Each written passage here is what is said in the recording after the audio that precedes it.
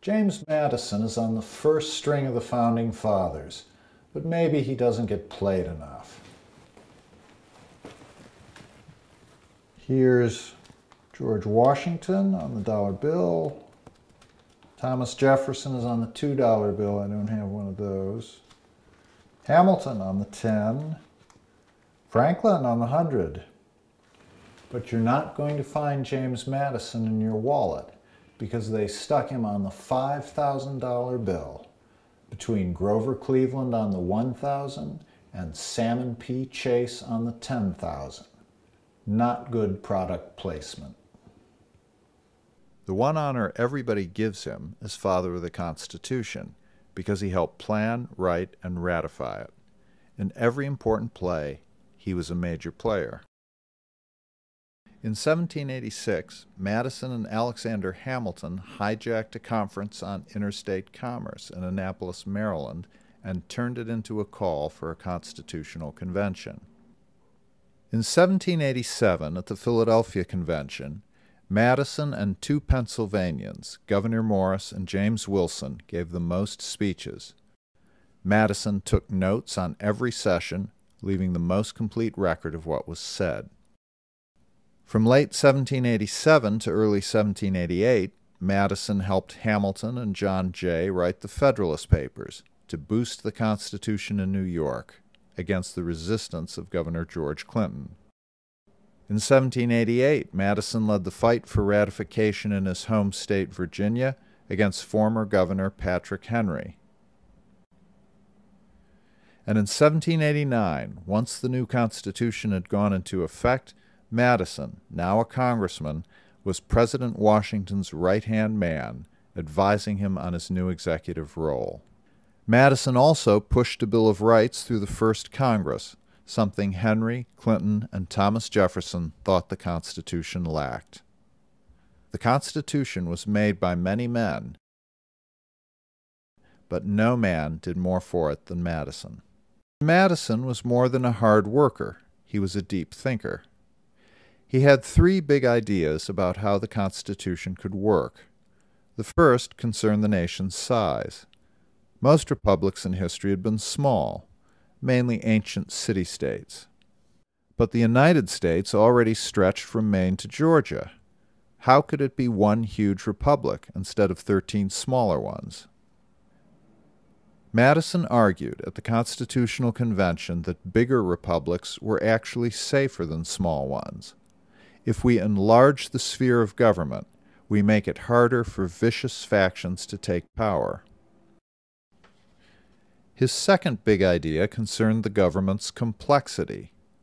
The new Constitution created an executive, two houses of Congress, and a judiciary, alongside 13 states, with more to come. In the Federalist Papers, Madison wrote that the interior structure of the government was so complex that its constituent parts would keep each other in their proper places. Ambition must be made to counteract ambition. His third big idea concerned public opinion. What if the size of the country and the complexity of government wasn't enough to stop a vicious faction from taking over? Then virtuous leaders would have to mobilize public opinion. In a series of newspaper articles in 1791 and 2, Madison called for an empire of reason over the whole country. Then every good citizen will be a sentinel over the rights of the people. Madison was asking ordinary Americans to be full time participants in the political process. In fact, James Madison was the father of politics as we know it. He took that role because of a fight with his former ally Hamilton.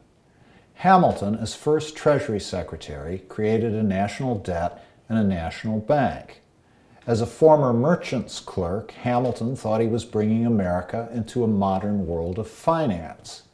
As a Virginia planter, Madison thought Hamilton was enriching his banker friends. Forget for now who was right. What's important is what Madison did. In 1791, Madison and Secretary of State Jefferson took a vacation in upstate New York and New England. They fished for trout. Jefferson wrote a letter to his daughter Polly on birch bark from a canoe. But Robert Troup, a New York lawyer and friend of Hamilton's, thought the two travelers had another purpose. There was every sign of a passionate courtship, he warned Hamilton, between Jefferson and Madison and local politicians who had their own quarrels with Hamilton, including George Clinton.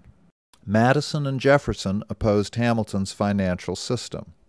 To fight it, they needed allies outside Virginia. Their trip to New York was a shopping trip. Madison also started an opposition press. He reached out to Philip Freneau, an old friend of his from Princeton. Madison introduced him to Jefferson, who gave him a no show job in the State Department. But Freneau's real job was to edit the National Gazette, a newspaper that slammed Hamilton and President Washington. Washington called him that rascal Freneau. He was the first in a long line of partisan media.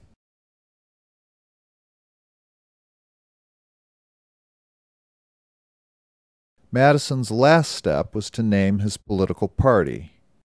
It was a hard step for him to take because the founders all thought of themselves as austere patriots, above parties. But Madison knew that patriots have to fight for what's important. In 1792, he named his party the Republican Party. In 30 years, they changed their name to what it now is the Democratic Party. Madison's party has changed its base many times, from slave owning planters to big government multiculturalists. But fear of Hamilton's banker friends is woven into its DNA. The world's oldest constitution and America's oldest political party. James Madison is father of them both.